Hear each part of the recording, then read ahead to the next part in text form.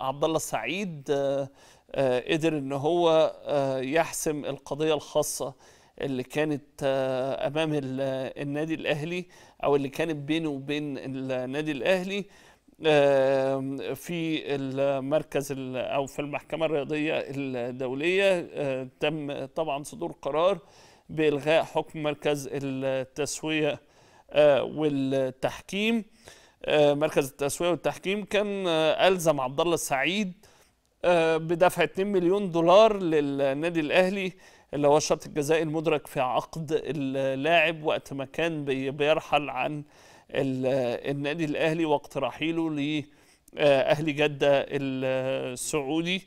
آه، يعني المحامي الخاص بعبد الله السعيد الأستاذ هاني آه، زهران قال إن المحكمة الرياضية قررت إلزام النادي الأهلي بسداد 70% من قيمة مصاريف المحكمة وبمبلغ 10000 فرنك سويسري آه، لعبد الله السعيد.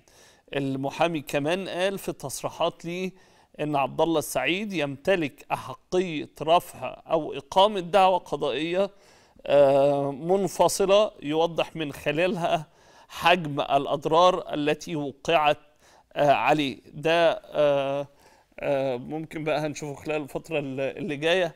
هل عبد الله السعيد هيقيم دعوة قضائية آه، للحفاظ أو آه، آه، المطالبة بأي تعويضات آه، نتجت عن الإضرار به آه، ده هنتابعه خلال الفترة اللي جاية.